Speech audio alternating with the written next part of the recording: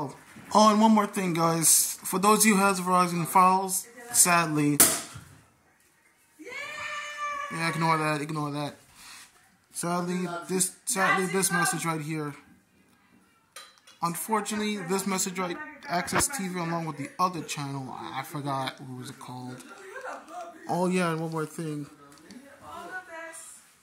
And this channel right here is uh, these channels over here has been discontinued from the Verizon FiOS lineup. So yeah, that that's probably it. So yeah, for those of you who have Verizon FiOS, those channels are now discontinued for good.